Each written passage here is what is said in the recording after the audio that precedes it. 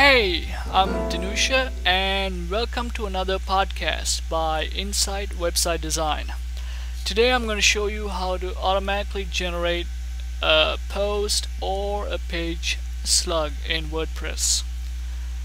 Now if you're doing a lot of uh, custom programming in WordPress and you are trying to display or you're trying to output your uh, slug for your post or page, this is exactly what you're looking for. Now here's the code we're going to use to uh, you know make the function happen. Uh, now I did not write this code. I found this online somewhere, and um, um, whoever wrote this code, thank you. I believe you should you should uh, uh you should give the credit where it's due. So there you go. Anyway, uh, basically what we're gonna do, we're just gonna cut and paste this code and uh, put that into our functions PHP file inside your um, custom theme. So first of all you need to find your uh, functions.php file uh, whatever um, theme you're working on. And we're just gonna do a in this case I'm gonna copy and paste it. Go to your functions file do a paste and go ahead and save the file and re-upload it to your web server. So you have the you know custom function in your PHP file now.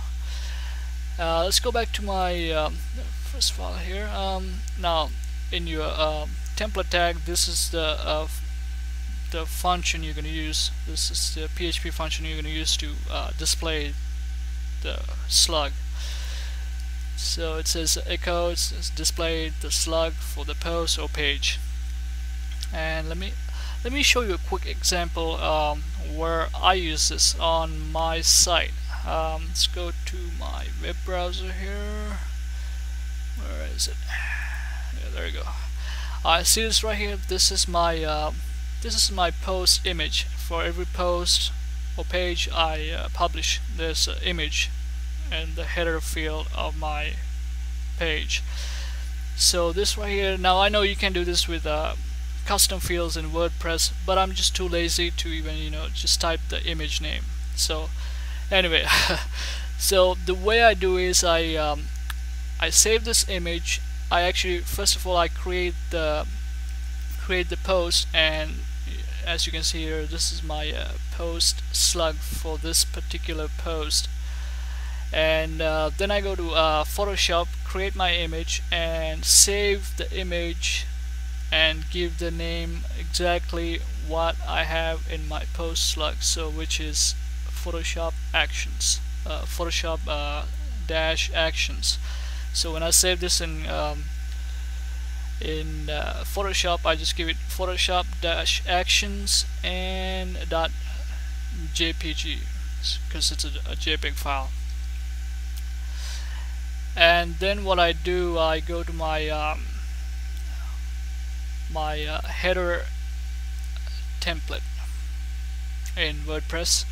And right here it says uh, first of all it's getting my template URL and it's going to my images directory and uh, where it's uh, that's where I uh, have my some of my post images or page images.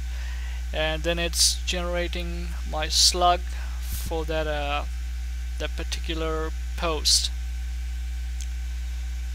Right here and it's combining that slug with. dot JPG for my JPEG. So that's a uh, that's a pretty uh, simple example. So once again what it does it just automatically you know generate this image right here.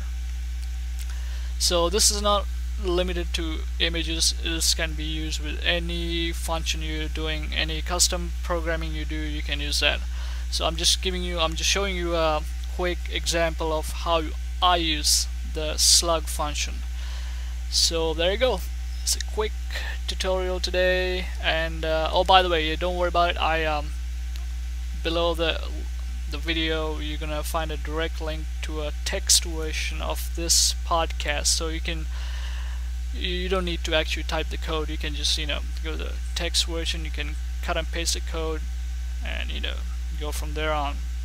Because I know I, am lazy myself and I know most of you are out there you don't want to type this stuff. So you can just cut and paste the code to your functions file and you can go from there on.